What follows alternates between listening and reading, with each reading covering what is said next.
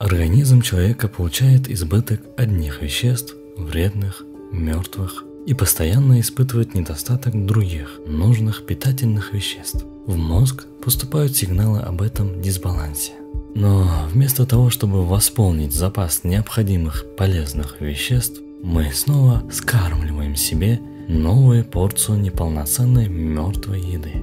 Результат – проблемы, связанные с нарушением обмена веществ, ожирение, снижение количества энергии и множество разных болезней. Такое неполноценное питание приводит к еще одной проблеме. В организме человека скапливаются токсины.